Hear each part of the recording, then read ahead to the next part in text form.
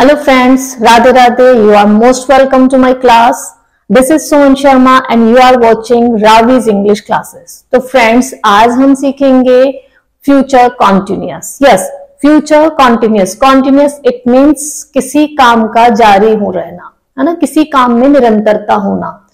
ये तीनों में है प्रेजेंट कॉन्टिन्यूस भी है पास्ट कॉन्टिन्यूस भी है और आज हम कर रहे हैं फ्यूचर कॉन्टिन्यूस कॉन्टिन्यूस इसका मतलब किसी काम का प्रोग्रेस होना, इसलिए इसको प्रोग्रेसिव टेंस भी कहते हैं।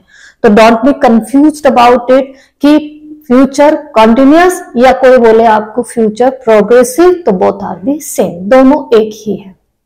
देखिए कॉन्टिन्यूस जैसे कि बताया कि किसी काम का जारी होना। हमने प्रेजेंट जब कॉन्टिन्यूस किया था तो उसमें भी देखा था कि वाक्य के अंत में रहा है। पास्ट कॉन्टिन्यूस में रहा था तो फ्यूचर कॉन्टिन्यूस में रहा होगा। तीनों में एक बात सेम आ रही है, रहा। जिनके अंत में रहा रहा, रही, रहे। तो इसका मतलब कॉन्टिन्यूस अब कौन सा कॉन्टिन्यूस इसका मतलब अगर उनके आगे है, लगा हुआ है, रहा है, रही है, रहे है तो प्रेजेंट कॉन्टिन्यूस रहा था, रही थी, रहे थे तो पास्ट कॉन्टिन्यूस और इसी तरह आपको हिंदी सेंटेंसेस के एंड में यदि मिले रहा होगा, रही होगी, रहे होंगे तो समझ जाइए, ये है फ्यूचर कॉन्टिन्यूस जी हाँ ये इसकी पहचान है हिंदी वाक्य के अंत में। अगर हम बात करें इसके इंग्लिश सेंटेंसेस में किस तरह आइडेंटिफाई करें तो यदि आपको मिले विल या शेल के साथ में बी प्लस वर्क की फोर्थ फॉर्म जिसे कहते हैं प्रेजेंट पार्टिसिपल और जिसे कई बच्चे कहते हैं आईएनजी फॉर्म ये अगर आपको नज़र आए तो समझ जाइए ये क्या है फ्यूचर कॉन्टिन्यूस तो ये दोनों पहचान हो गई। ये हिंदी में, हिंदी वाक्य के अंत में रहा होगा, रही होगी, रहे होंगे या फिर रहा होगा रही होंगी।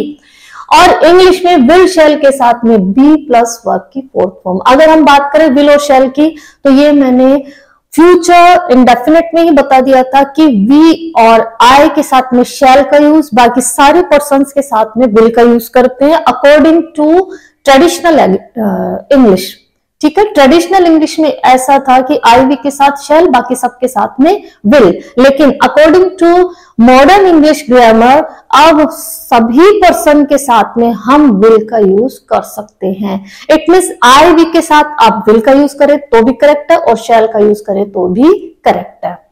आप देखिए, ये इसका स्ट्रक्चर है, इसके टर्न वाइज आते रहेंगे, पहले हम चलेंगे इसके ट्रांसलेशन के लिए. ट्रांसलेशन देखिए अभी अभी हमने सीखा, जिन हिंदी वाक्यों के अंत में इनमें से कोई शब्द हो तो समझ जाइए, वो फ्यूचर कॉन्टिन्यूस है। हमने देखा इसके एंड में, जी हाँ किसी भी सेंटेंस का ट्रांसलेट करने के लिए आप उस सेंटेंस के एक बार एंड में देखिए तो एंड में क्या रही होंगी।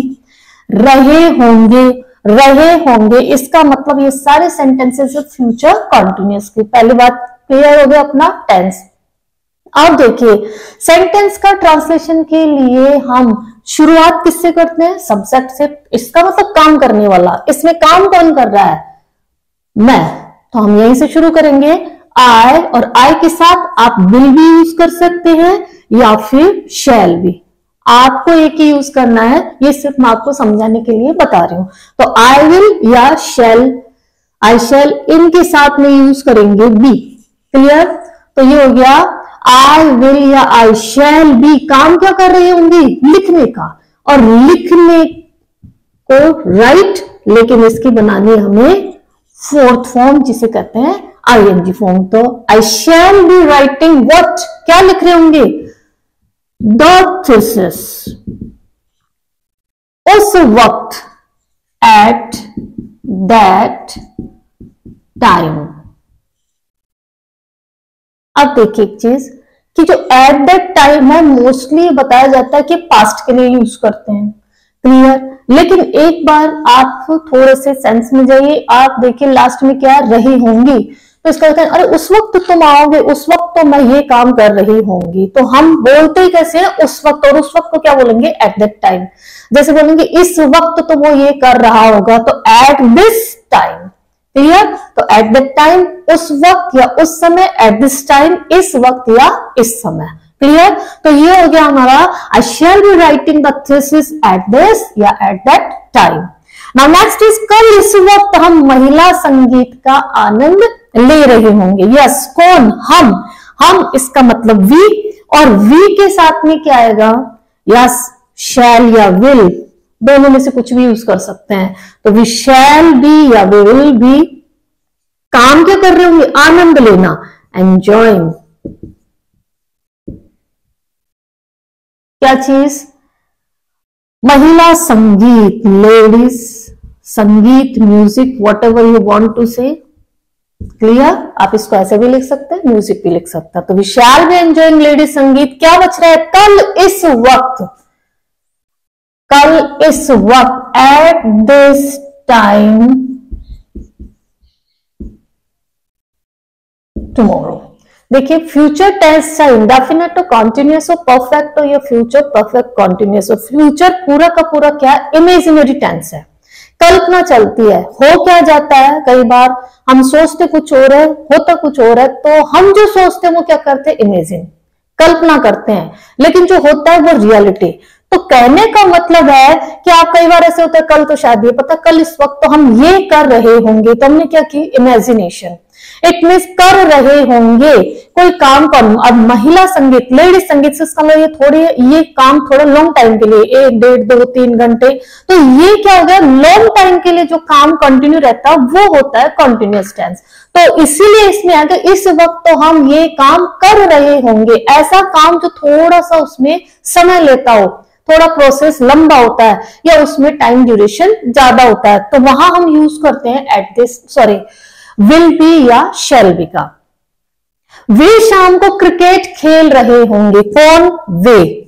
और वे के साथ विल या shall yes definitely will they will be या दे बी ये हमने इसके कॉन्ट्रेक्शन सीखे थे, जिसको नहीं आता या जिसको, जिसने नहीं देखी हो, वो लास्ट वीडियो देखी किस तरह से इनके कॉन्ट्रेक्शन होते हैं, कि पर्सन के साथ जब विल को ऐड किया जाता है, या जिसे आप शॉर्ट फॉर्म कहते हैं तो फिर क्या साउंड देते हैं? तो ये होगा दे या दे विल अगर हम इस तरह से लिखते हैं तो ये बेल क्लियर यहाँ डब्ल्यू आई गायब है। आप जिसे कह सकते हैं, ठीक है? तो आप दे बोलेंगे इसको और फुल फॉर्म लिखते हैं पूरी तरह से तो ऐसे दे विल बी काम क्या कर रहे हैं? खेलने का। तो दे विल बी प्लेइंग क्या चीज़? क्रिकेट शाम को इन द इवनिंग देखिए, ये भी एक तरह से वैसे ही है, जैसे हमने पास्ट में सीखा था पास्ट कॉन्टिन्यूस में परफेक्ट में, कि एक साथ दो काम हो रहा होता है। एक काम हो रहा होता है दूसरा काम होता है। तो यहाँ पर भी हम ऐसे ही नहीं कहते। हम किसी बात पर इन बातों को कहते हैं। कोई कहेगा शाम को, अरे नहीं, शाम को तो वो नहीं मिलेंगे, क्योंकि इस वक्त तो वो क्रिकेट खेल रहे होंगे। ठीक है? तो इस तरह से हम इमेजिन करते हैं, या हमें जो बात मालूम होती है फ्यूचर की, वो बताते हैं कि इस वक्त तो ये कर रहे होंगे। तो इन दिस वे हमने किया इसके फ्यूचर कॉन्टिन्यूस के अफर्मेटिव सेंटेंसेस क्लियर अब आप देखिए, इसका स्ट्रक्चर क्या बन गया अफर्मेटिव का? सबसे पहले फाइंड आउट किया हमने सब्जेक्ट सब्जेक्ट के बाद में हम यूज़ करते हैं हेल्पिंग वर्ब और हेल्पिंग वर्ब इसकी है विल या शेल और उसके तुरंत बाद बी बी के बाद में वर्ब की फोर्थ फॉर्म जिसे हम कहते हैं प्रेजेंट पार्टिसिपल देन ऑब्जेक्ट तो object otherwise other adverb sorry तो ये हो गया आपका अफर्मेटिव का स्ट्रक्चर क्लियर अब देखिए, अगर हमें इसे नेगेटिव बनाना हो तो कैसे करेंगे? आई मैं थीसिस नहीं लिख रही होंगी। इस वक्त हम महिला संगीत का आनंद नहीं ले रहे होंगे। वे शाम को क्रिकेट नहीं खेल रहे होंगे।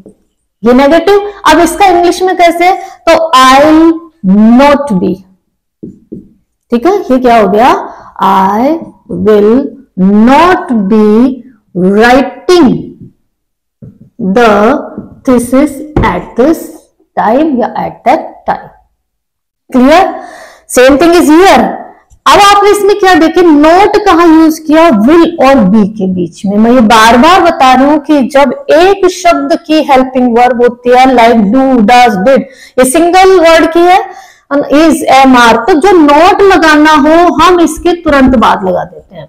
लेकिन जब हेल्पिंग वर्ब एक से अधिक शब्दों की ओर लाइक दिस विल बी दो शब्द की हो गए शेल बी आगे आएगा will have been shall have been तो इसमें क्या है कि आप फ़र्स्ट वर्ड हेल्पिंग वर्ड के फ़र्स्ट वर्ड के तुरंत बाद नोट यूज़ कीजिए और फिर बचे हुए शब्दों को बाद में इस तरह से आप लिखेंगे। क्लियर तो इस तरह हमने लिखा I will not be writing इसी तरह यहाँ क्या हो जाएगा? वी शेल कहाँ लगाएँगे हम? Not be enjoying ladies sangeet at this time they will not be clear तो इसका मतलब विल बी या शेल बी के बीच में हमें क्या पुट करना है? नॉट वर्ड पुट करना है। आप देखें, इसका स्ट्रक्चर क्या बन गया? वो ये कि सब्जेक्ट के बाद में हमें हेल्पिंग वर्ब देखिए, ये हर टेंस में है। सारे टेंसेस के स्ट्रक्चर यही है चेंज क्या होती है? Helping verb change only and only helping verb change होती है नथिंग एल्स ठीक है? तो हम इतने सेंटेंस सॉरी इतने टेंसेस कर चुके हम।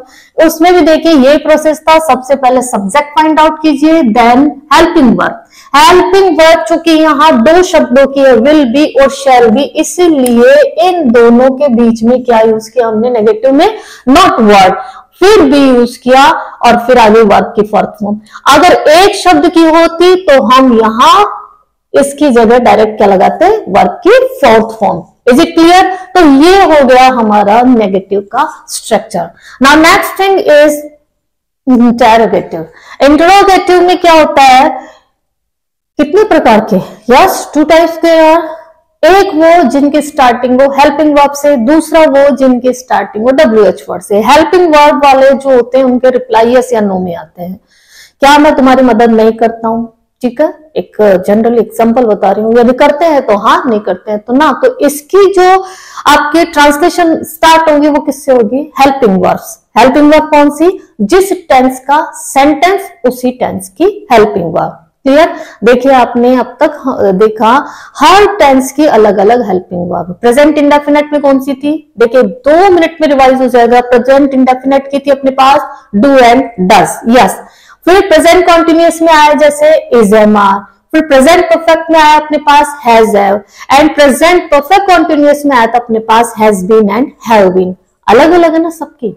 इसी तरह पास्ट इंडेफिनेट में डिड पास्ट कॉन्टिन्यूस में वॉज़ वर पास्ट परफेक्ट में had and past perfect continuous में हैड बीन इसी तरह फ्यूचर इंडेफिनेट में हमारे पास दो आया विल एंड शेल देखो फ्यूचर जो टेंस है, इसके चारों पार्ट्स में एक सिमिलरिटी है कि चारों में विल शैल मिलेंगे। उसके आगे चेंज हो जाएँगे। फ्यूचर इंडेफिनेट में विल और शेल लेकिन फ्यूचर कॉन्टिन्यूस में will be and shall be तो इस तरह से सभी टेंसेस की अलग अलग हेल्पिंग वर्ब है।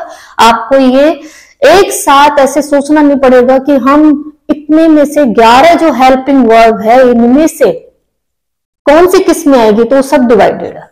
ठीक है? अब आप देखिए, यहाँ पर हम एक बार सीखते हैं कि इंटेरोगेटिव का किस तरह से करते हैं। तो इंटरोगेटिव का क्या करेंगे हम? जो यस या नो में रिप्लाई आते हैं, उनकी बिगिनिंग किससे करेंगे हम? हेल्पिंग वर्ब से। यस किस तरह से करेंगे उसके बिगिनिंग हेल्पिंग वर्ब से? इसमें है आई विल बी राइटिंग या आई शेल बी तो वही है, क्या मैं इस वक्त ये लिख रही होंगी? इसका मतलब विल या शेल यहाँ यूज़ करना, और फिर आएगा आपके काम करने वाला। इतने सब्जेक्ट जिसे डू कहते हैं तो विल आई बी अब देखिए, यहाँ क्या किया हमने? इसको इंटरोगेटिव बनाते समय विल बी और शेल बी के बीच में हमने क्या पुट कर दिया? सब्जेक्ट क्लियर तो विल आई बी यस बाकी सेम हो जाएगा writing the thesis at the time यहाँ पर आपके आ जाएगा क्वेश्चन मार्क क्लियर अब देखिए, जो डब्ल्यू एच वर्ड है, उसमें हम शुरू में सिर्फ़ डब्ल्यू एच वर्ड लगा देते हैं, बाकी का process same W H word के तुरंत बाद क्या आनी चाहिए? हेल्पिंग वर्ड इसका क्या हो जाएगा अपने पास में? यहाँ हो जाएगा shall we shall we be क्या हम इस समय महिला संगीत का आनंद ले रहे होंगे? तो हो जाएगा ये, यहाँ पर shall we be enjoying same बाकी ऐसे के ऐसे। क्लियर इसी तरह से वे शाम को क्रिकेट नहीं खेल रहे होंगे। सॉरी क्या वे शाम को क्रिकेट खेल रहे होंगे? तो यहाँ दे विल को क्या हो जाएगा? यहाँ पर विल और फिर आएगा दे बाकी ऐसे। तो इस तरह फ्रेंड्स ये हो गया आपका इंट्रोगेटिव इंट्रोगेटिव का जो आपके स्ट्रक्चर है, वो क्या हो गया कि सबसे पहले विल या शेल देन सब्जेक्ट पुट करना, फिर आ जाएगा आपका बी इसका मतलब विल शेल बी के बीच में आपको सब्जेक्ट पुट करना है। फिर आ जाएगी वो वर्ब की fourth form then object then adverb and then last में क्वेश्चन मार्क लगाना ना भूले। क्लियर अगर हम बात करें इंट्रोगेटिव नेगेटिव की तो आप देखिए इसमें क्या, उस क्या उस वक्त मैं थीसिस नहीं लिख रही होंगी? है ना? क्या भी आ रहा है और नहीं शब्द भी आ रहा है। तो will I not be will I not be इसका मतलब जो इंट्रोगेटिव नेगेटिव आता है तो विल बी या शेल बी के बीच में आपको सब्जेक्ट और नोट वर्ड पुट करना है। तो ये हो गया will I not be writing the thesis ठीक है? Shall we not be enjoying ladies sangeet at this time और इसी तरह will they not be playing cricket in the evening तो इट मीन इसका हमारा स्ट्रक्चर क्या बन गया कि सबसे पहले हम विल शैल यूज़ करेंगे देन सब्जेक्ट और फिर नॉट ऑफ़ बी इसका मतलब विल बी और शेल बी के बीच में हमें ये पुट करना है सब्जेक्ट प्लस नोट अगर आपका ये इंट्रोगेटिव नेगेटिव है देन फिर आपकी वही बात की fourth form object and adverb in this way आप देखिए कि फ्यूचर कंटिन्यूस कितना इजी है। इट्स टू इजी केवल विल बी और शेल भी आपको याद रखना और कंटिन्यूस तो आपको पता है, चाहे प्रेजेंट हो पास्ट हो या फ्यूचर हो, तीनों ही कंटिन्यूस में हमें आईएनजी फॉर्म जिसे प्रेजेंट पार्टिसिपल कहा जाता है, ये फॉर्म हमें यूज़ करनी होती है। आप इसका स्क्रीनशॉट लीजिए।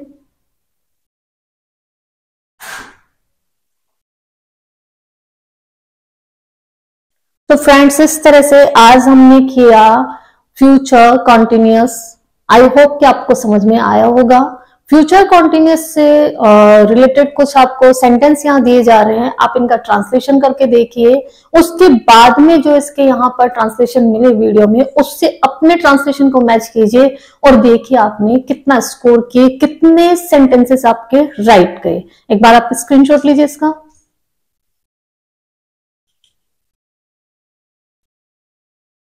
तो फ्रेंड्स ये है आपके सामने इनके ट्रांसलेशन आप इनको ध्यान से देखिए। अपन, आपने जो अपने आप किया है, एक बार उनसे मैच कीजिए कि कितना आपका राइट और कितना रॉन्ग है। आज फ्रेंड्स आपको इसी के साथ में कुछ वर्ड्स मिले हैं, जो अधिकतर बच्चों को कंफ्यूज कर देते हैं। जैसे कि D E S E R T इसे डेजर्ट कहते हैं, इसका मतलब रेगिस्तान। कभी कभी ये जहाँ कहीं बच्चे पढ़ते हैं बुक में तो कंफ्यूज हो जाते हैं D E double S E R T इसे डिजर्ट कहते हैं। जैसे हम खाना खाने के बाद में कोई मीठा खाते हैं तो उसे क्या कहा जाता है? डिजर्ट कहा जाता है। तो यार, इसी तरह से होता है C O S T cost इसकी प्रोनाउंसिएशन कॉस्ट जिसका मीन होता है, कीमत या मूल्य, ये है कॉस्ट देखिए कॉस्ट और यह है कॉस्ट जिसे कहा जाता है तट या किनारा। इन दोनों की स्पेलिंग में भी डिफरेंस है सीओ एस टी और ये सी ओ ए एस टी यहाँ पर D E S E R T है और ये है D E double S E R T I hope कि आपको ये वीडियो बहुत पसंद आया होगा। अगर समझ में आया, पसंद आया तो प्लीज़ लाइक कीजिए शेयर कीजिए। Thank you and have a nice day Radhe Radhe.